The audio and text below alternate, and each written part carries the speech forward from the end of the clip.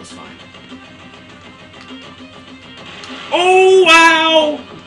Wow. Holy schwow.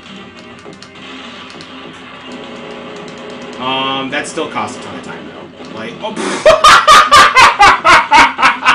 wow! They were just setting me up for a trap. Like, we'll have a little bit of mercy on you. Boo! Ah, we totally tricked you. Fooled ya. I don't know what the fuck is going on, Ebu. I don't know. I just don't know. It's Sub-Terrania.